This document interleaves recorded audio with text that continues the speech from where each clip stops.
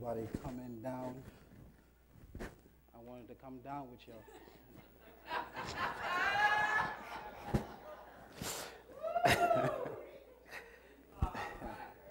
I wanted to step down with you. Oh, mercy, mercy, Lord, mercy. God is so good. God is good. Good to see you. Got my favorite couple I like to see. amen, amen, amen. Good to see so many guests with us today. I want to thank you for blessing us with your presence. Amen. Can, can, can you fix my mic? It's, it's, it doesn't sound right.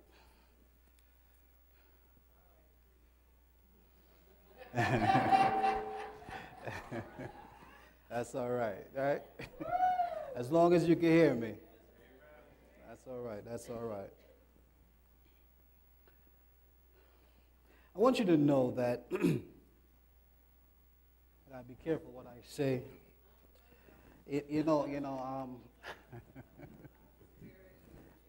I'm, I'm on the internet. I can't really say certain things. I have to be very careful.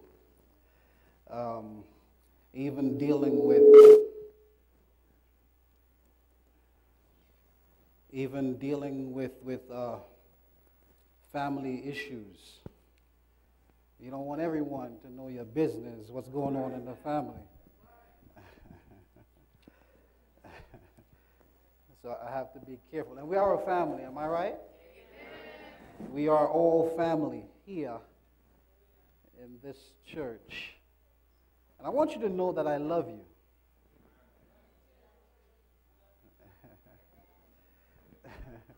Y'all just saying that.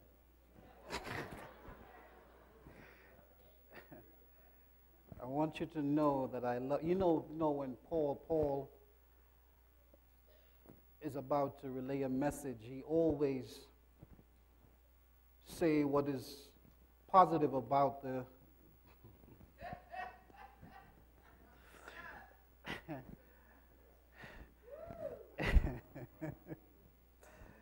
he tells you all the good things first.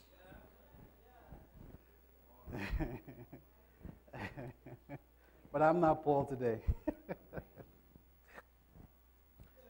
but I, I, I, do love each and every one of you, and my desire is to have a, a, a, a good relationship with each and every one of you. And I, I want to get to the point where, where as a church family, if, if, you have, if you have any issues, that you come and speak to the pastor.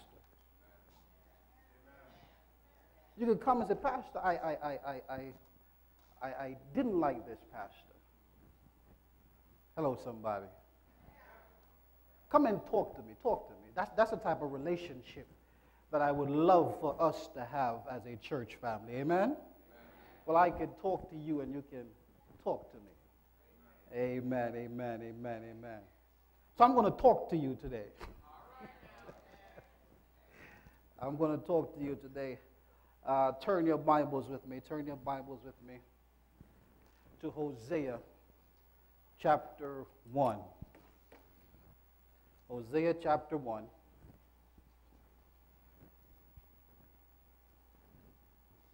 Verses 3 through 9, rather 2 through 9. And 3 verses 1 and 1 to 3. If you have it, say amen.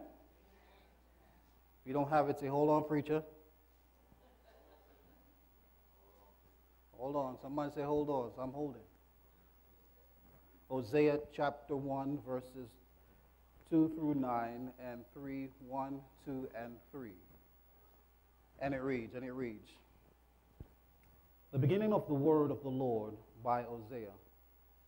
And the Lord said to Hosea, Go and take unto thee a wife of whoredom, and children of whoredoms. For the land hath committed great whoredom by departing from the Lord. So he went and he took Gomer, daughter of Diblaim, which conceived and bare him a son. And the Lord said unto him, Call his name Jezreel. Call his name what? For yet a little while, and I will avenge the blood of Jezreel upon the house of Jehu, and will cause to seize the kingdom of the house of Israel. And it shall come to pass at that day that I will break the bow of Israel in the valley of Jezreel. And she conceived again and bore a daughter. And God said, Call, bore a daughter. And God said unto him, Call her name Loruhamah, for I will no more have mercy upon the house of Israel, but I will utterly take them away. But I will have mercy on the house of, of Judah, and will save them by the Lord their God, and will not save them by bow, nor by sword, nor by battle, by horse, or by horsemen. Now, when she had weaned the Loruhamah, she conceived and bore a son. Then God said, Call his name Lo Ami, for ye are not my people, and I will not be your God.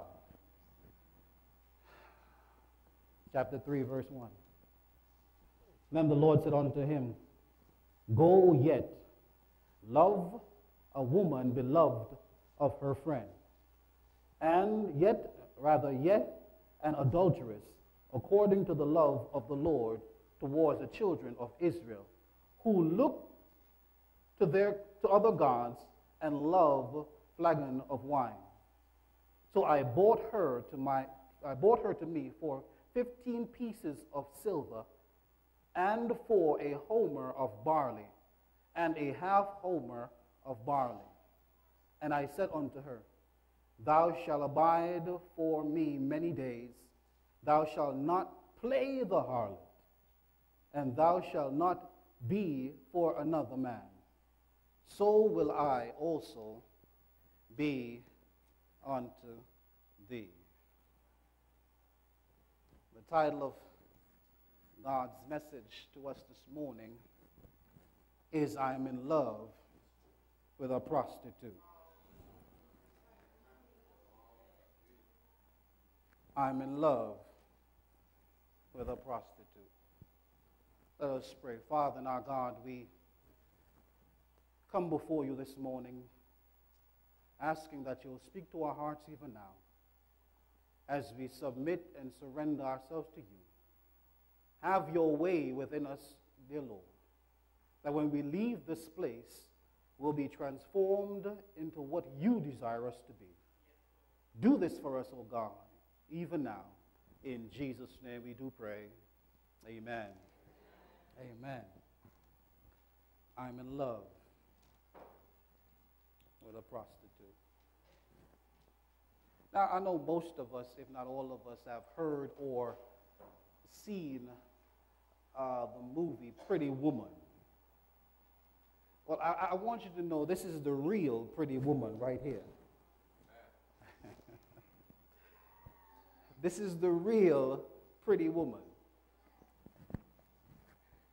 You see, God, God was sitting on his celestial throne. He was contemplating what more could I have done for my people? What more could I have done for Israel? Because you see, he had taken them out of Egypt and he had planted them in a land flowing with milk and honey. And I mean, the land was literally flowing with milk and honey. You see, the honey was dripping from the trees.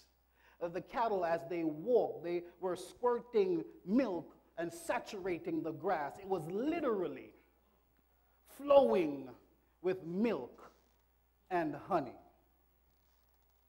But in spite of all of what God has done for them, they were unfaithful. You see, their prosperity had brought an unprecedented degree of cultural corruption. You see, they, they, they, they, they became so lax, they became so relaxed because of their wealth, and they began to turn from God and turn to idols. You see, this is why, this is why God cannot allow some of us to be wealthy. He has to put a salary cap on some of us. Because he knows that as soon as we get what we want, we leave the presence of God. So, so if, if, if, if you're trying to be wealthy and it's not working out for you, maybe God is trying to save you. Their wealth has caused them to drift away from God and they began to serve idols. And even the, the, the, the, the famous places where God met with the children of Israel, they turned those places into idol worship. One writer said that the elders, the priests, had prostitutes lined up at the back of the sanctuary. They have drifted so far away from God, and God now, like a jealous husband, is contemplating what more can I do for Israel to show them how much I love them. So he, so he calls Hosea. and he says to Hosea, Elder Maddox, he said to Hosea, Hosea, I have a message for my people but I can't tell you what the message is. you need to experience it. You see, there's a difference in telling someone a story than sharing an experience. It's a difference when you share an experience with someone than just tell them a story. You see, when you tell a story, sometimes there's not any emotion behind it.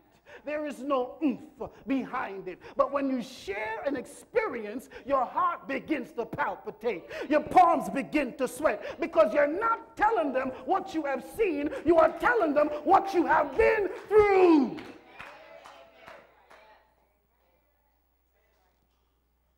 So God said, I have a message, I have a message. But I can't tell you. You have to experience it. And when you experience it, you will preach it better.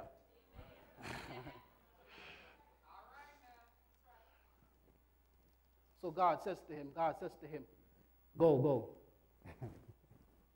go and marry a woman of harlotry and have children of harlotry, for the land has committed great harlotry.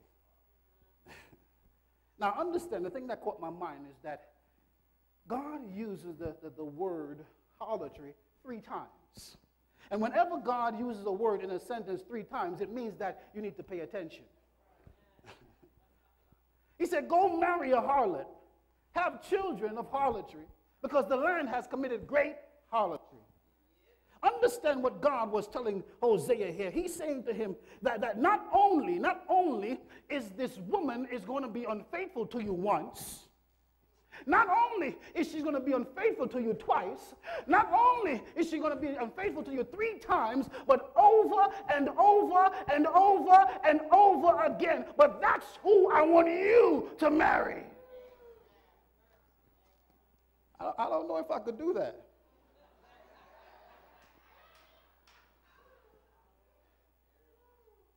I would have asked, God, is that you speaking?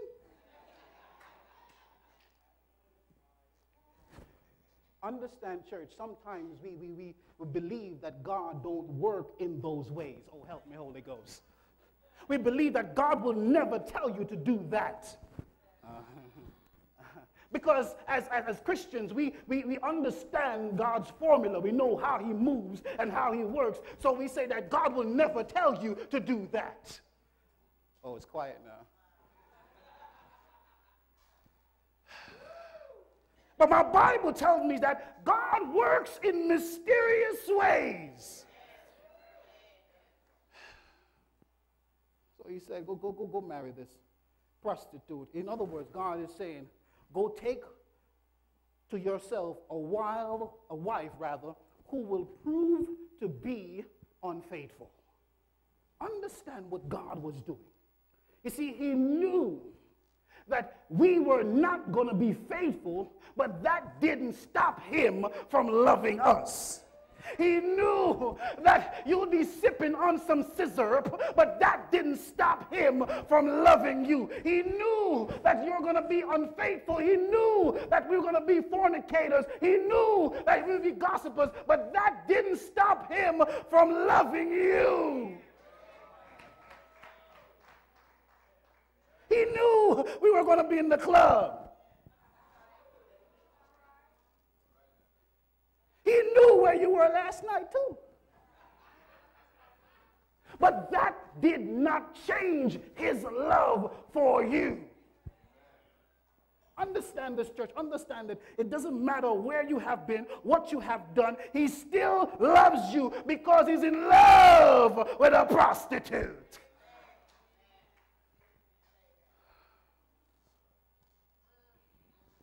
See, sometimes, sometimes, sometimes. I don't think they like this one.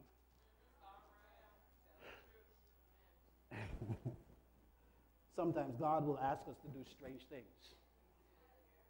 And then he will use that experience to save somebody else.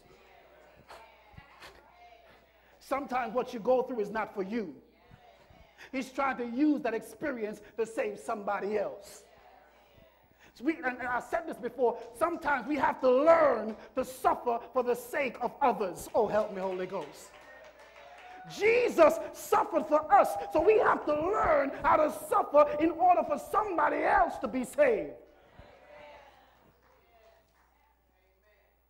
Get uncomfortable so somebody else might know Jesus. Get off the pews so somebody else might know Jesus. Get out there in the hood so somebody might know. Hello, somebody.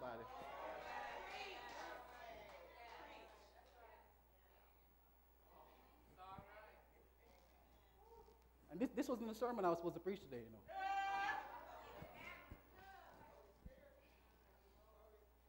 Sometimes you, you allow you to go through some things in order to save somebody else. You see, this experience was designed to draw the people's attention back to God. God telling Hosea to do what he did was designed to draw the people's attention back to God. But because you see, sometimes, sometimes we get so caught up in sin that it takes something more drastic for us to come to our senses because we're so deep in sin. God has to do something drastic to get our attention. Just imagine, just imagine, just imagine if that was supposed to happen today. Just imagine if I, no, not me. Not me. Just imagine if a famous preacher went out and marries a prostitute.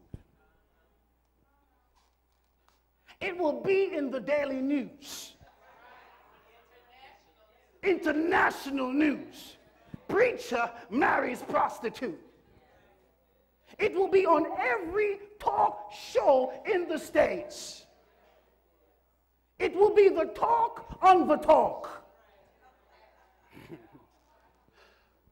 Everyone in the community knew what Hosea did. He was the talk of the town church. And that was the purpose. Oh, help me, Holy God told him to do that so he could be the talk of the town. Because he was trying to get their attention. So now, now, now, now that he got their attention, he says, Hosea, this is the message. Go and have children.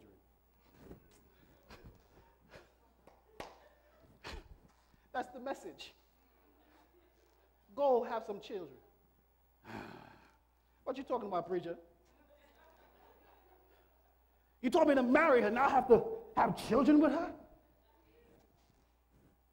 Understand that Hosea had three children that he knew of.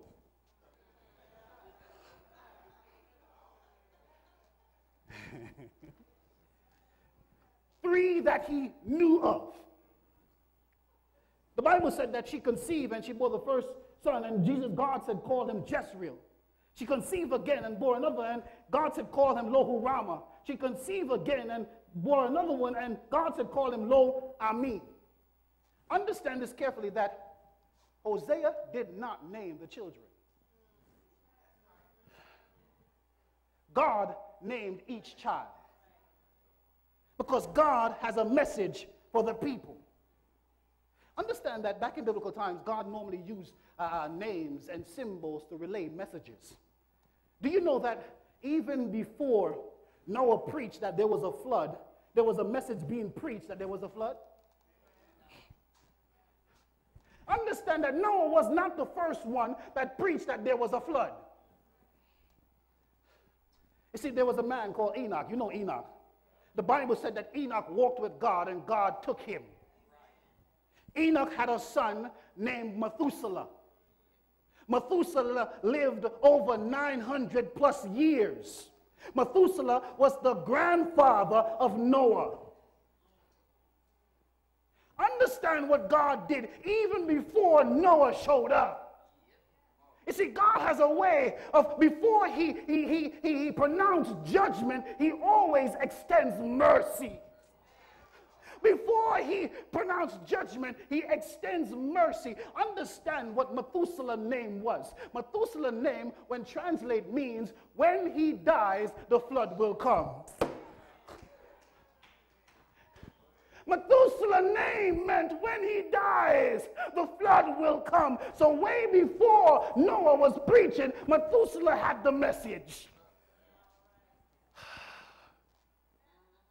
900 plus years of mercy.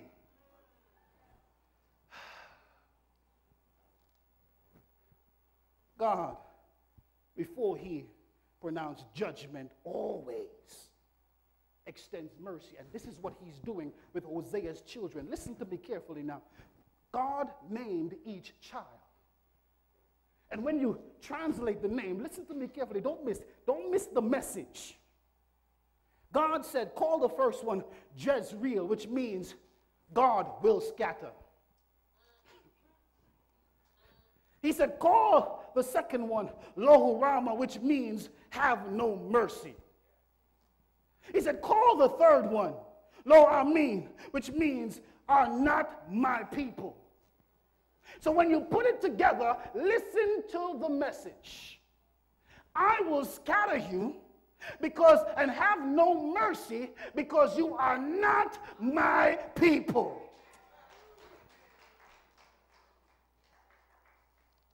I will scatter you and have no mercy because you are not my people. Church, listen to me carefully. Just imagine the embarrassment that Hosea went through because of his wife.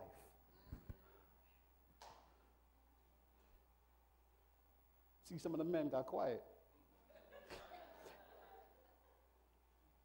Imagine what he went through because of his wife. And this is what God was trying to relay. The children of Israel, you are embarrassing me.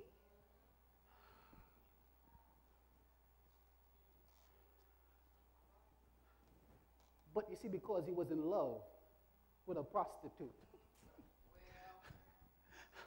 Understand what Hosea could have done and should have done. You see, Hosea could have taken his wife outside the gates of the city and stoned her. That's what he should have done, and that's what he could have done, and he would be blameless. But you see, they, they had another procedure. Oh, help me, Holy Ghost. They had another procedure. If, if, if you want to find out if your spouse is unfaithful, there's another procedure, Elder. The Bible tells us in Numbers that if you want to find out if your wife, your spouse, is unfaithful, you take a, a, a barley offering and you bring it to the priest. And the priest will take your spouse, your wife, and, and he will take her into the sanctuary. And he will have a clay jar of holy water. And he will take some dirt from the sanctuary and sprinkle it in the water. And then he will ask her a series of questions. And if she was unfaithful and denied it, when she drank the water, her inside would rotten out and she would carry a stench for the rest of her life.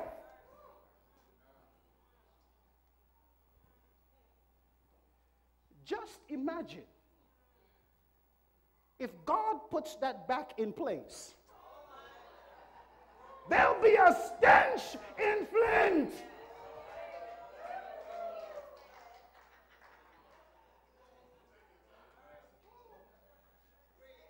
There would be a foul smell in Flint.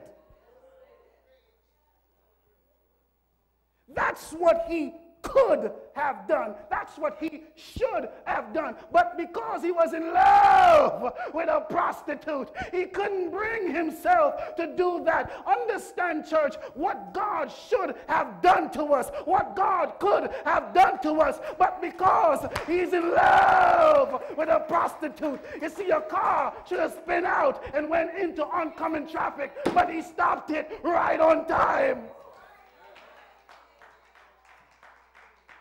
Church, they should have killed me in the club. But because my God was in love with this prostitute.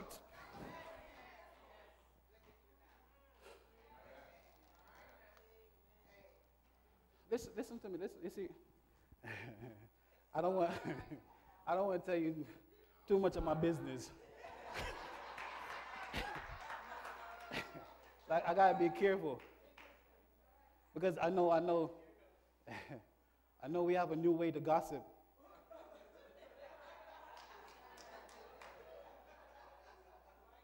We call it prayer requests.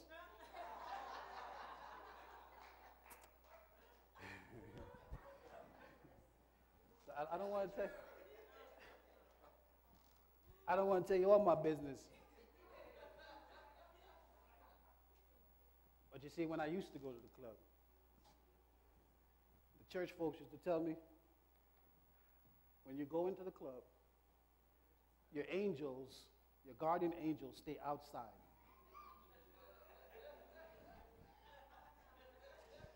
And they wait for you to come out. Because they don't go into certain places. So your guardian angels stay outside and wait for you. But listen to me, church. I submit to you today that if the angels didn't go in with me, I wouldn't be able to make it out. You see, ignorance brought me in, but grace brought me out. Grace brought me out. Some of you know that you shouldn't be out but it's because of the grace of God. That's why you are still here.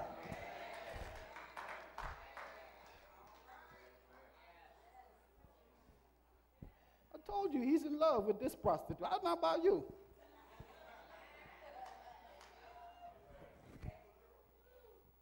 He's in love. That's what Hosea could have done and should have done. But, but you see, sometimes, sometimes when you try to to reach someone. Sometimes, if someone that you love is not reciprocating back that love to you, sometimes love has to let you go. I know it will hurt, but if that person is not giving you back that love that you're giving to them, sometimes love has to let you go.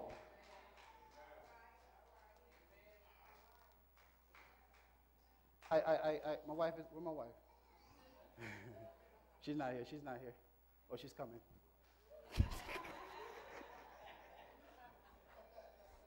I, I should have said this before she came in. I remember my wife. You know, love, love has to let you go sometimes. I don't know if I should say this. But I remember, it's all right. I know which God I serve. I remember my wife came to me and she told me, I'm leaving.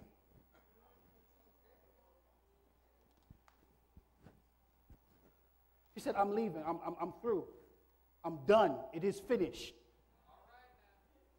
You know, I was getting on her nerves. I always get on her nerves. She said, It's, it's over. And I'm leaving. Being the man that I am, I looked at her. I said, Go ahead. Go ahead. I said, Pack up your camel and go. Go ahead. But I tell you this if you go through those doors, if you go through those doors, I'm coming right behind you. Because where you go, I will go. Where you lodge, I will lodge. You're not going anywhere without me.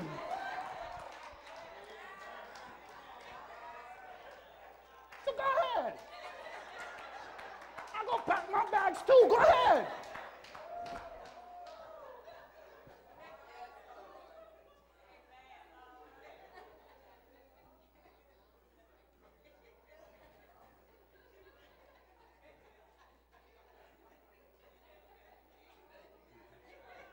Why, y'all laughing at me?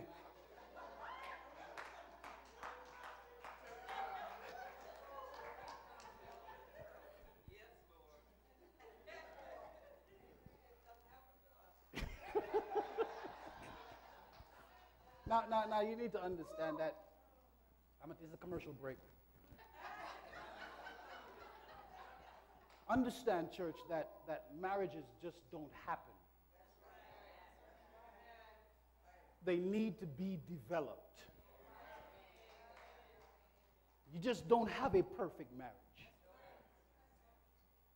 It must be developed and by the grace of God. Amen? All right, that's my commercial break.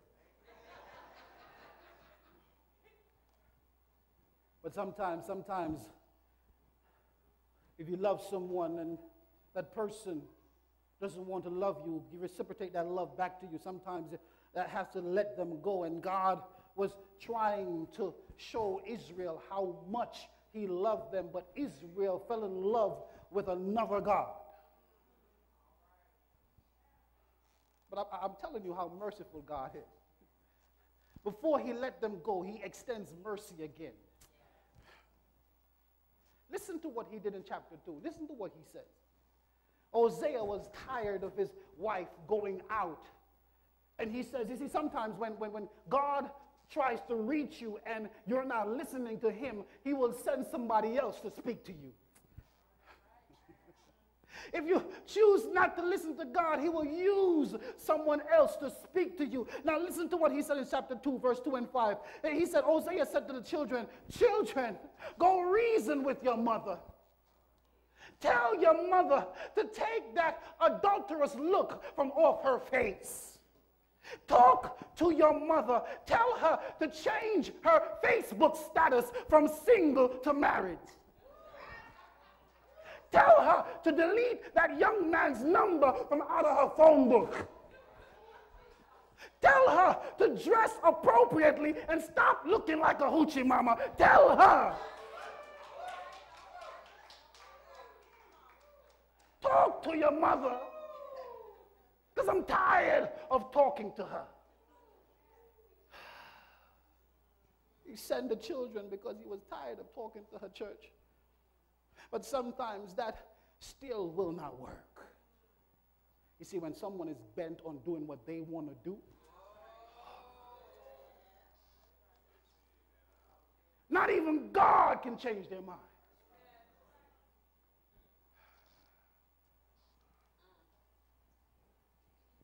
Sometimes that doesn't work. God has to try. And I, I just want you to see how, hard God tries to save each and every one of us.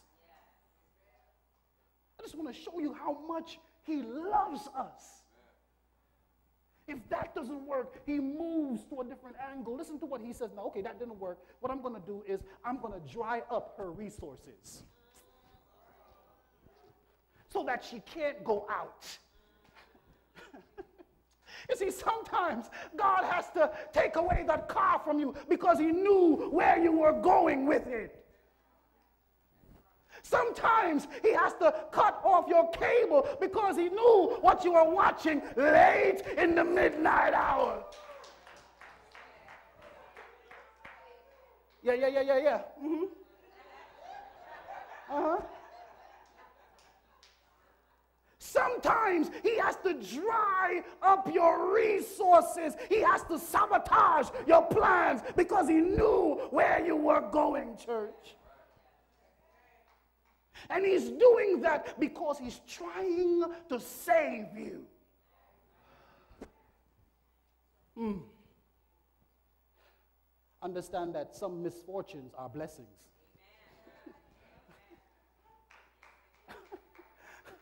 Some misfortunes are is because God is trying to save you. They're blessings. Hosea tried everything to keep his wife home, but she insisted on going. And love has to let you go. Mm, mm, mm. So Gomer says, Gomer said, I'm going back to my lovers. I'm going back to my old lifestyle. Jesus is boring.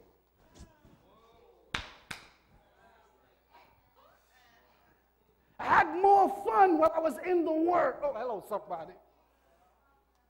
I'm going back to my lovers. You see, after God tells you about that young man, after he warns you about that flirtatious woman, after God has revealed the end of the end results, sometimes he has to just let you go. Let you go. So Hosea's Gomer said, I'm going back to my lovers. See, it's hard to turn a house, a, a prostitute into a housewife. She said, I'm going back to my lovers. Hosea is boring. I'm going back to have some fun. So she, she put on her hooker boots.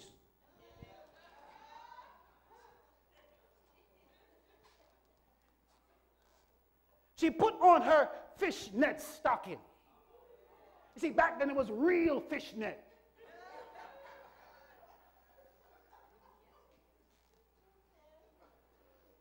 She put on her, her, her ankle bracelet because she is going to work. and she left the presence of Hosea believing that she's going to receive something better. Oh, help me, Holy Ghost. She left what she had, church, believing that she's going to receive something better. She believed that the grass was greener on the other side. Ooh. See, most of us, like Gomer, we believe the grass is greener on the other side. We believe the grass is, oh, hello, somebody. We believe the grass is greener on the other side. You see, you see, uh, uh, another commercial break. You have to be careful who you marry.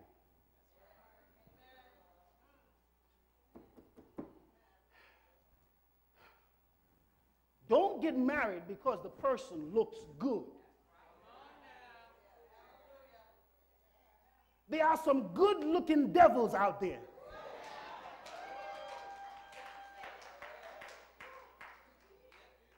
Be careful who you marry. Don't marry for looks. It's, listen to me, church. People change over time, you know. What goes up must come down. People change.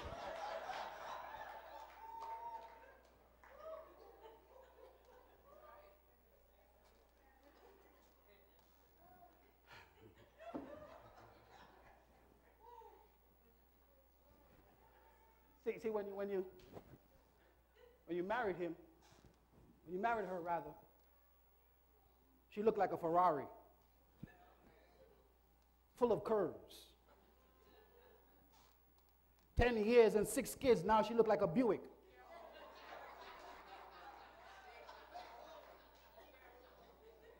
When you married him, he looked like a Hummer. 10 years and six kids, now he looked like a dump truck carrying a load.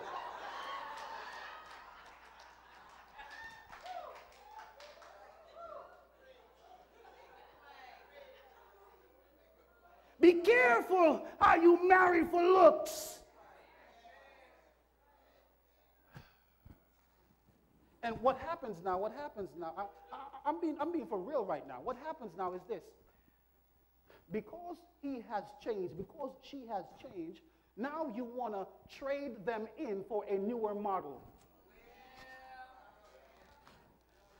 You want to trade them in for a newer model. But let me tell you something about these newer models. These newer models are made with fiberglass. They're easily broken.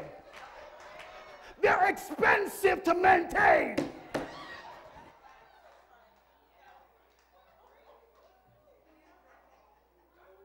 Listen to me. It's best if you hold on to your Buick, hold on to your dump truck. It never broke down on you.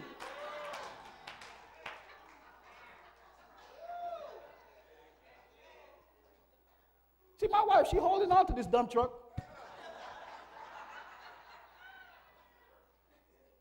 See,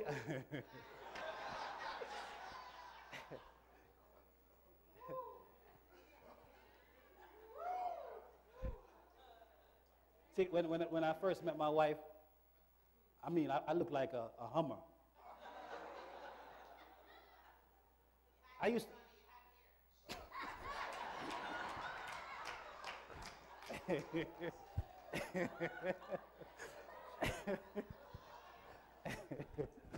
See, I, I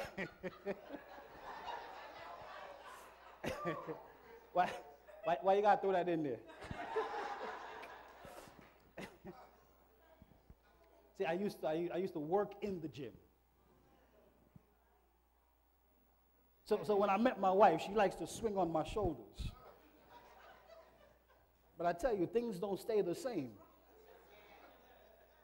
And no matter how hard you try, you can't get back. So hold on to what God has given you.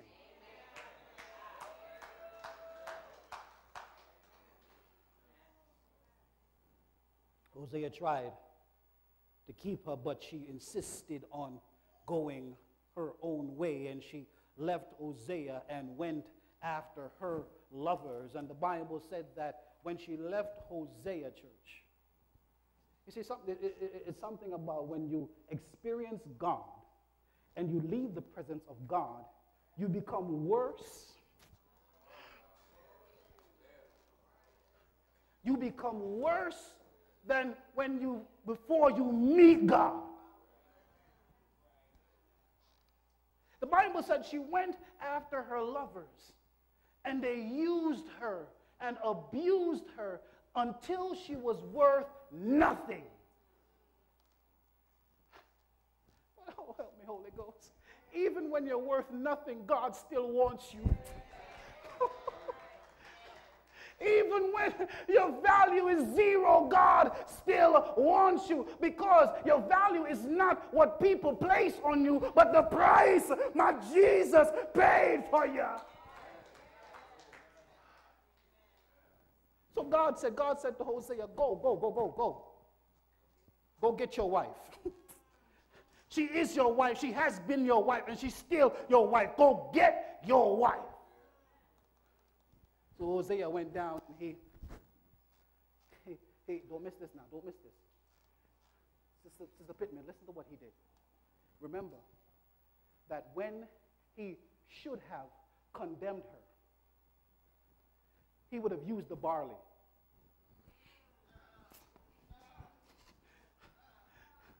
He should have used the barley to condemn her, but he saved the barley. When he went to retrieve her, he brought the barley. the barley that should have been used against her, now he's using it to restore her. You see, that's how God was. You see, the cross was supposed to condemn us, but Jesus used the cross to restore us.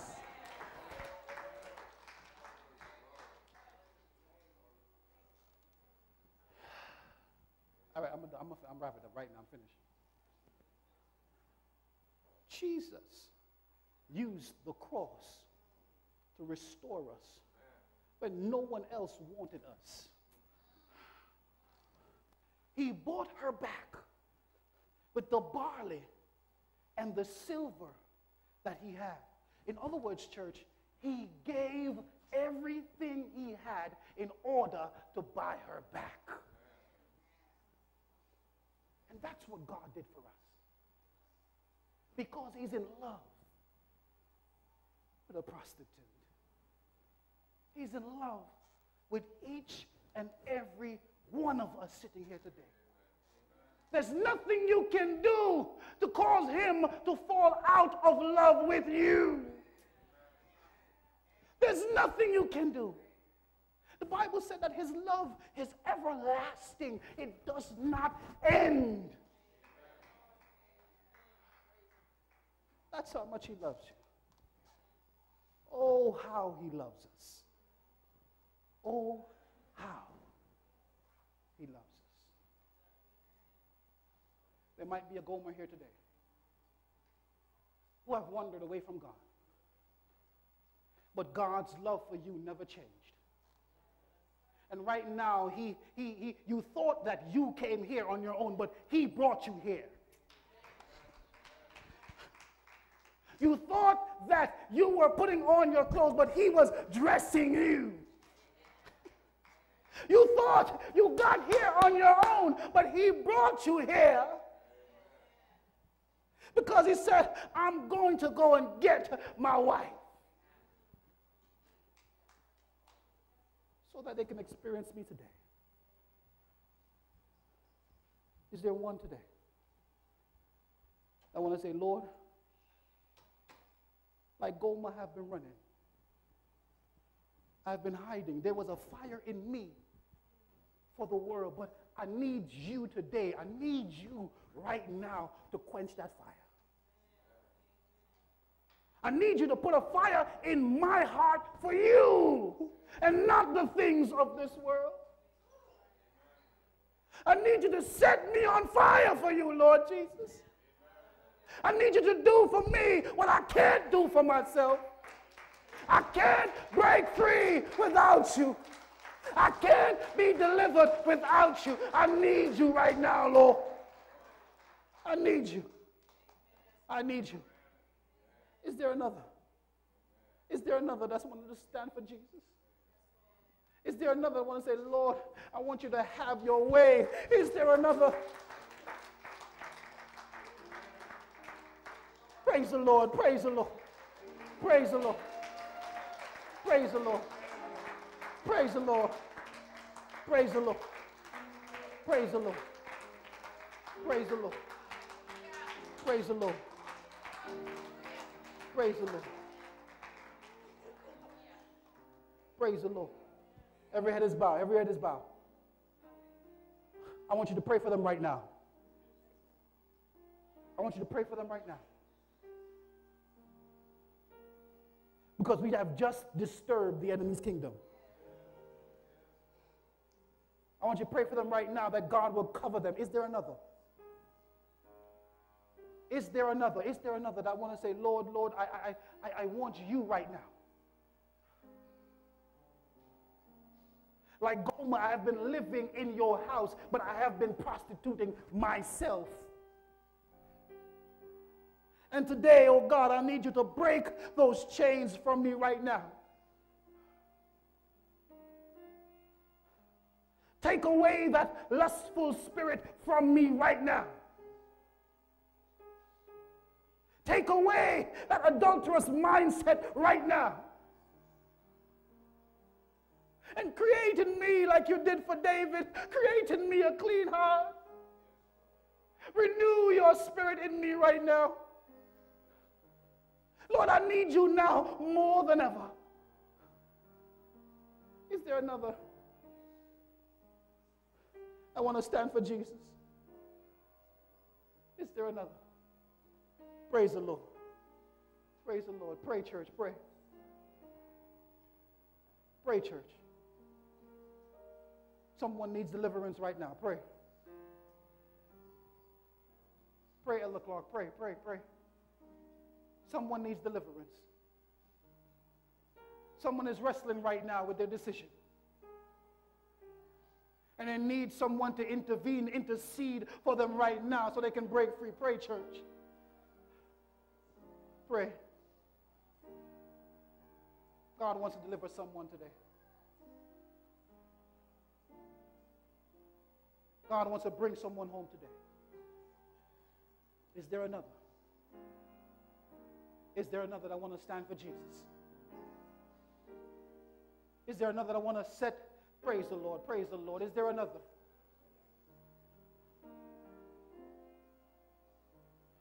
That wants to come home. That want to come home. And you want to say today, Jesus, come and get me. Come and get. I don't know how to get back home. Come and get me. I have lost my way and I can't find my way home. Come and get me.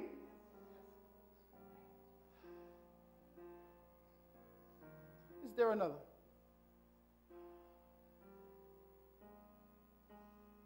Lord, you see your people. And you know the cries of their heart. So I pray, oh God, that you do for them what they cannot do for themselves. Deliver those who need to be delivered today. Encourage those who need to be encouraged. Strengthen those who need to be strengthened in you.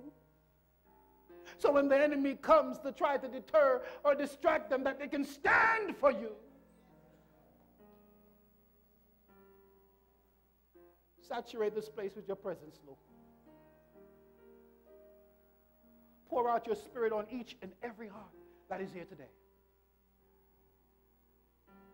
That when we leave this place, we will not go back to life as usual. We will not go back to things the way they are, but be transformed because of your love, to be transformed because of your spirit, to be transformed because of your grace. Help us, Lord. Help us, Lord. We thank you. We love you. And we praise you for you're worthy to be praised. I still can't understand your love. How could you love someone like me? Not even the disciples could understand his love. And they said, What manner of love is this? What kind of love is this? But this is the kind of love that can break your heart. So break our hearts today, Lord. And put us back together. We love you and we praise you.